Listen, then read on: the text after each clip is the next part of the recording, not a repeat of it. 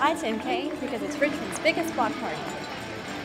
There are plenty of ways you can 10K this year at the Ukrop's Monument Avenue 10K, April 13th, presented by Martin's. Register now at sportsbackers.org.